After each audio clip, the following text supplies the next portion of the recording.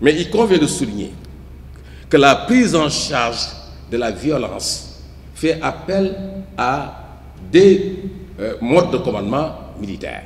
Et ça, c'est un principe qu'il faut prendre en compte, effectivement, dans la formation. Quand, quand il s'agit de prendre en charge un niveau de violence élevé, c'est un commandement militaire qui s'impose.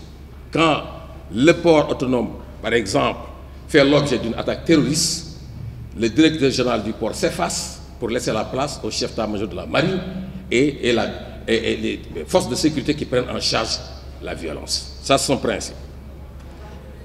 Je salue donc la coopération de l'Union européenne qui, par la mise en œuvre de différents projets, participe non seulement au renforcement des dispositifs nationaux de sécurité et de sécurité maritime des pays d'Afrique de l'Ouest et du Centre, mais aussi soutient l'initiative régionale du processus de Yaoundé et de son architecture opérationnelle de sécurité maritime qui s'étend dans l'ensemble de l'espace du Golfe de Guinée. Mesdames et Messieurs,